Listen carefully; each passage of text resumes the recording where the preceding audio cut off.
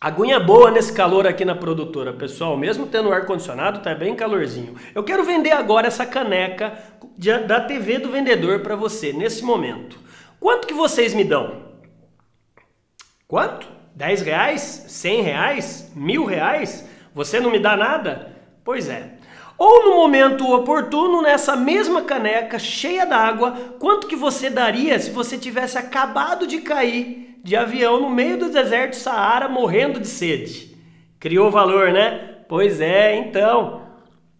A gente deve entender que quando a gente ouve essa, essa objeção tá caro, ou a gente vende preço ou a gente vende valor. Vocês perceberam que eu estou com o meu livro aqui, o best-seller Sucesso em Vendas com Motivação. Num dos capítulos principais desse livro eu falo muito sobre preço e valor. O que você está vendendo?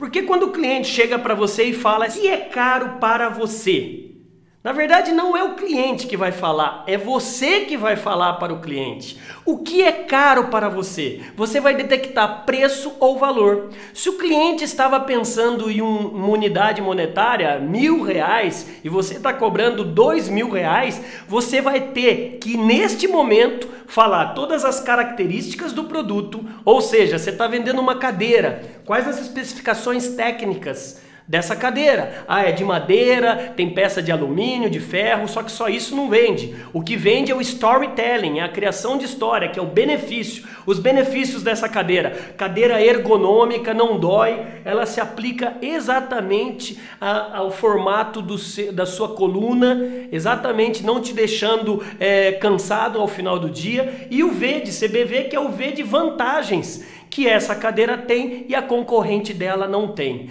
Uma vez você detectou isso, as características, os benefícios e as vantagens, você começa a entender essa trilogia. Quando o preço é igual ao valor, o que, que acontece? Na cabeça do cliente é justo. Quando o preço é maior que o valor, vejam vocês, na cabeça do cliente é caro. E quando o preço é menor que o valor, na cabeça do cliente é barato. Então você tem que detectar nessa penúltima dica mais valor, mais benefícios na cabeça do cliente do que preço. Pense nisso e vem para a última dica. Vem!